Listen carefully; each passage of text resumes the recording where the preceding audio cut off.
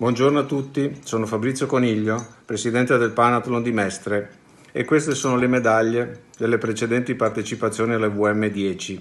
Non potevo perdermi naturalmente quella di quest'anno, così unica.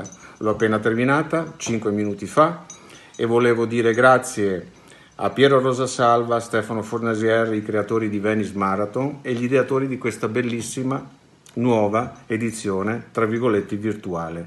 È un segno è un segno di speranza. Sicuramente noi batteremo questo momento, batteremo questo virus e torneremo il prossimo anno a correre tutti insieme, in 10.000, 20.000, quanti saremo. Quindi auguri a tutti e viva lo sport, viva Venice Marathon e viva i runner.